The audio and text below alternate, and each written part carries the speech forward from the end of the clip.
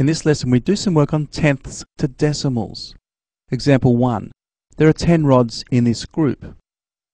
In part A, we're asked what part of the group are red rods? 1, 2, 3. There are 3 out of 10. Now we can write that as a fraction. We can write that as 3 tenths. And in decimal form, we write 0.3. What part of the group are blue rods? Let's count them.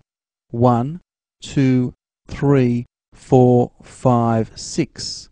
So there's 6 out of 10.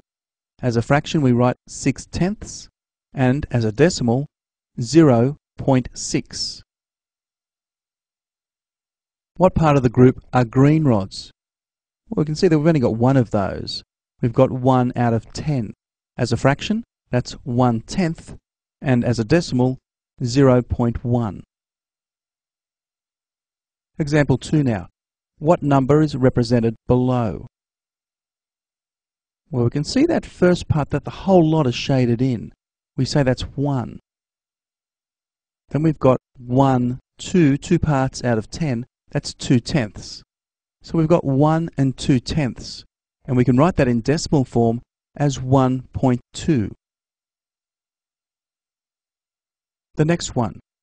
Well, we can see there's two wholes shaded there. 1, 2. So 2 so far. And as a fraction, we've got 1, 2, 3, 4, 5, 6, 7. 7 parts out of those 10. We write that as 7 tenths. So altogether, we've got 2 and 7 tenths. And in decimal form, we write 2.7.